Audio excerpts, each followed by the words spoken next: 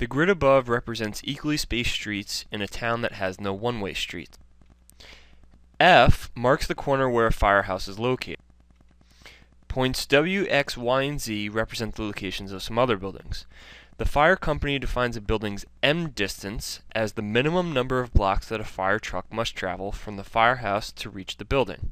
For example, the building at X is an M distance of 2, and the building at is an M distance of 1 half. What is the M distance of the building at W from the firehouse?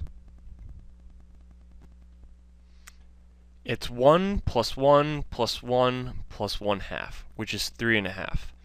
And that's the minimum distance, that's why they're calling it the M distance. You could have gone another path, you also could have gone up first, and then left 2, and then up a half. But either way, you're traveling the minimum amount of distance.